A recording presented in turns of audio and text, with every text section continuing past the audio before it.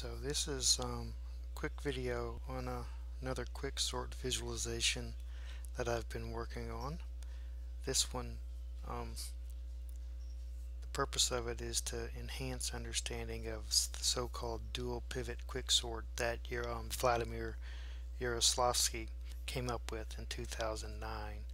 Um, and John Bentley and Joshua Bloch teamed up with him and this became the um, the core sort algorithm in the Java 7 SDK. First I'll just do a quick thing here to show what it does.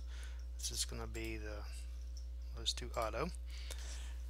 So this partitioning method breaks it up into three different um, sets. Um, those that are less than the left pivot and those that are in between the left and right pivot and those that are greater than the right pivot and I'll talk about what those are. But what you end up with here it's done is three sets. These are less than that left pivot. The green is in between and the red is above the right pivot that we started with. And the way the algorithm works is that it does this and then it'll call itself recursively on the three different um, regions. There's a bunch of other factors like based dealing with um, equal pivots and things but um, I'm not going to get into that here. The purpose of this is just to kind of look at it in a best case way and for how the algorithm works. So I'm going to make a new one here. What I use is this is um, kind of pseudo source code from um, Seb um, Sebastian Wild and Wild and Markus Nebel's analysis of Yaroslavskiy's algorithm. And what I try to do here is as it goes through each step, it highlights the area in the source code um, where you are and what it's doing. In this case, you know, it's setting the two pivots, the left pivot and the right pivot. There's some little information about it. Um, boom. It sets um, these counters makes a note about, hey, this is the main loop we're going to be going through and starts the process. So I'm comparing A of K to the left pivot, makes a little note there. In this case it's bigger than the left pivot, so it jumps to the else. It comes down, I'm showing how you're comparing A of K, which is A of 1 in this case, to the right pivot, here it's in between it marks it as green move that guy back. We go down and increment the counters and do the loop again. And you can step through either a hand I mean manually one at a time or just kind of let do auto. Boom and let it finish. Um, there's some different options on the pre the set that you want to use. Let me see in this case they're increasing now they're, they're all increasing but I do a thing where I found the pivots based on the estimate of the terciles. I think it's terciles. So boom.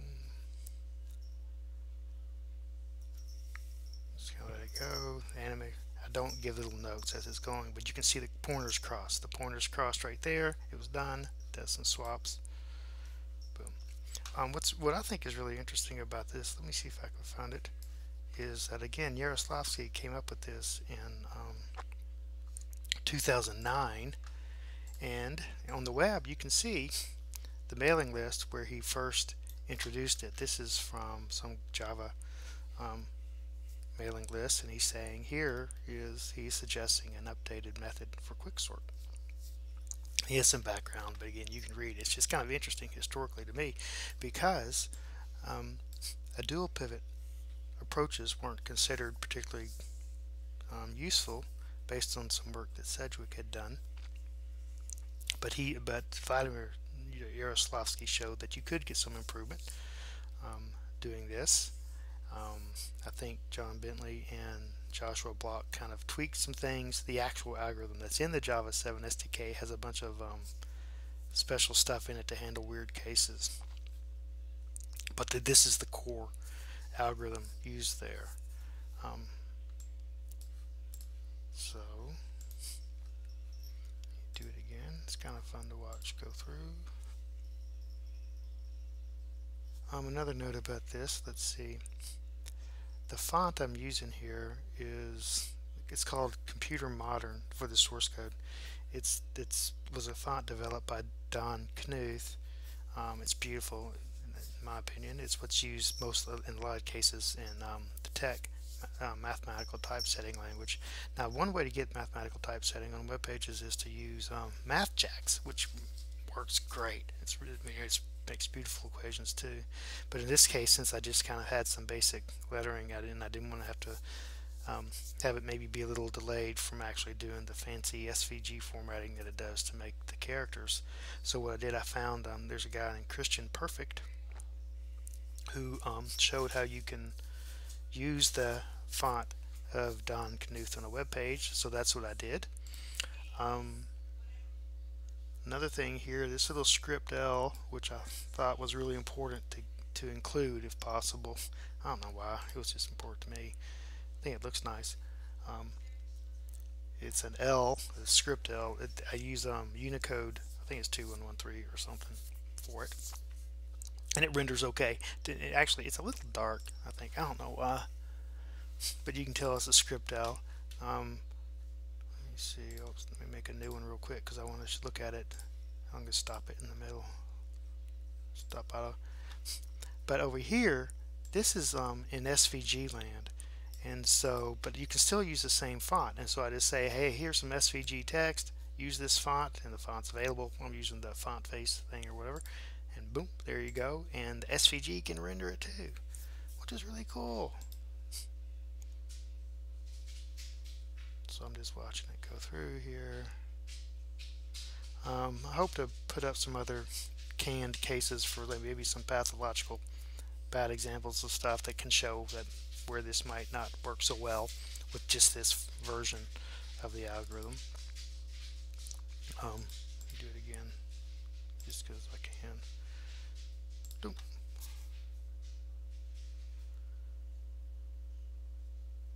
So I'm just watching the pointers.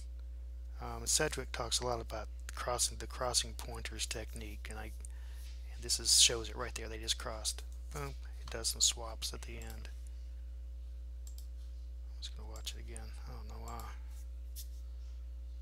Again, when I click new, it's making it's picking random values there. Do, do, do, do, do. Watch it step through all the things. Just kind of checking. These few little lines of code. Um, there's a lot going on. I think, as it turns out, and all these quick sort methods. Even in the if you look at the code in Sedgewick's book, um, and Sedgewick and Wayne's book, um, they'll have these just a handful of lines that re in reality are doing a bunch of it's doing a bunch of stuff and can be really sensitive to um, little changes. So here's something else. I guess that's it. Um, the, the link to this is on down below if you want to go play with it. Um, I'll be making some tweaks here and there, maybe do some more partitioning method visualizations um, as I go along. So that's about it.